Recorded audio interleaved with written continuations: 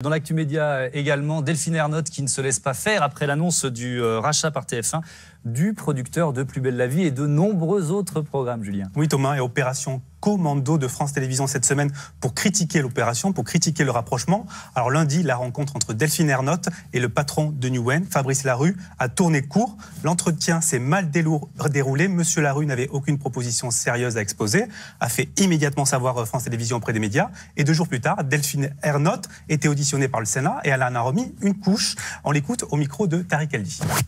Moi, ce qui m'importe, c'est euh, comment, à partir d'aujourd'hui, on trouve le moyen de protéger l'investissement public. Euh, Newen, c'est effectivement notre premier producteur euh, de création. Donc, ça représente euh, des investissements d'argent public, mais aussi du savoir-faire, des métiers de France Télévisions. Et aujourd'hui, juridiquement, voilà, on a un peu le sentiment de se faire exproprier par notre principal concurrent. Donc, c'est quand même un sujet.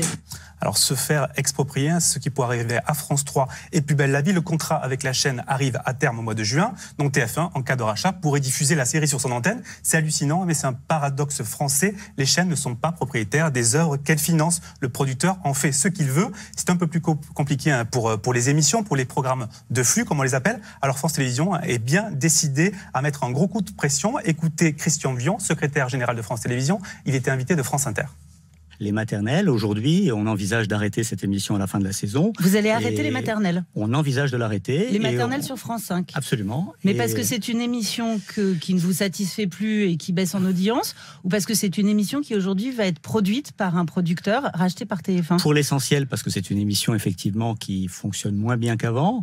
Euh, mais je ne vous cache pas que le fait qu'elle soit produite par le groupe Diwen euh, nous amène à nous interroger davantage sur les émissions qui sont fragiles. C'est un bras de fer qui commence. En fait. Oui, c'est un bras de fer avec les productions de, de, Newen. Donc, mm. si France Télé met un terme à beaucoup de contrats avec Newen, forcément, la société n'aura plus la même valeur et l'opération pourrait capoter. Il faut savoir que ce dossier est aussi éminemment politique. Le lobbying a déjà commencé. La preuve, mercredi, Fabrice Larue, le patron de Newen, a déjeuné avec la conseillère culture de Manuel Valls. Merci Julien. Edoui Plenel, Fabrice Arce.